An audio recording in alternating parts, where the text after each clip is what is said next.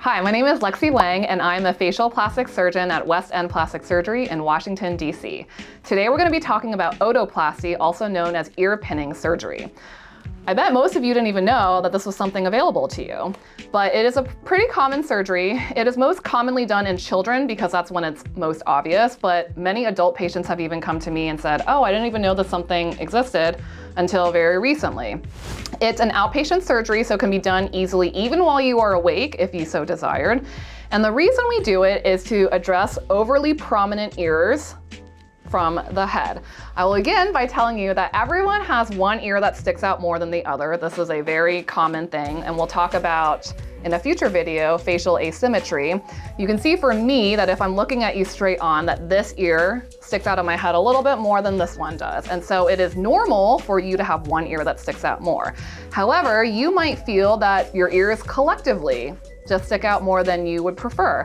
So to treat that, we do something called otoplasty.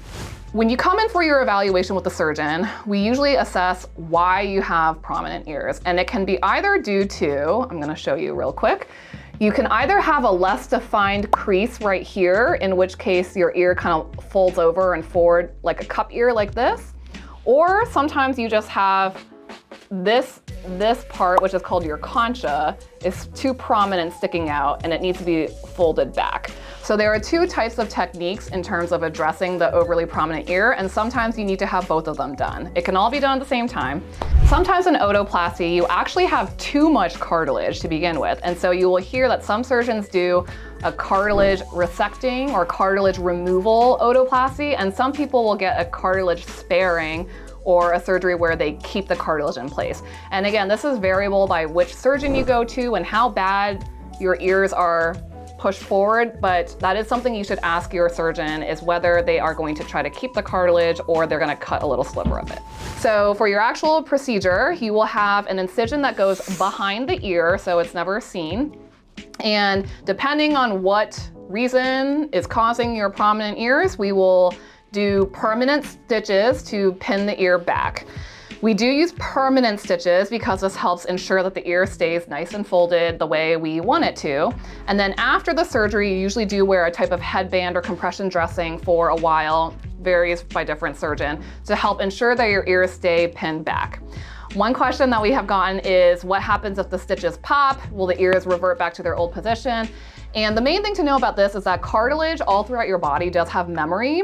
So if you let cartilage run wild, yes, it could theoretically revert back to its old position. However, the reason we do the permanent stitches and we do the headband is we want your ear and your cartilage to scar down in its new healed position.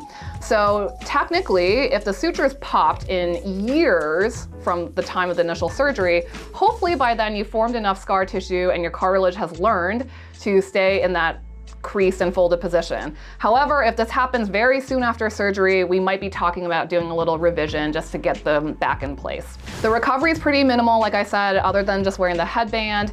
And um, the other question a lot of patients will have is, you know, how bad is the asymmetry afterward? Again, we are aiming for improvement, not perfection. That's not possible. It doesn't exist in plastic surgery. So as my coordinator will always say, you want your ears to be like sisters, not twins. So there is likely always going to be one ear that sticks out a little bit more, but if you are okay with that, then this is definitely a surgery for you. And in conclusion, my name is Dr. Lexie Wang. I'm a facial plastic surgeon at West End Plastic Surgery in Washington, D.C.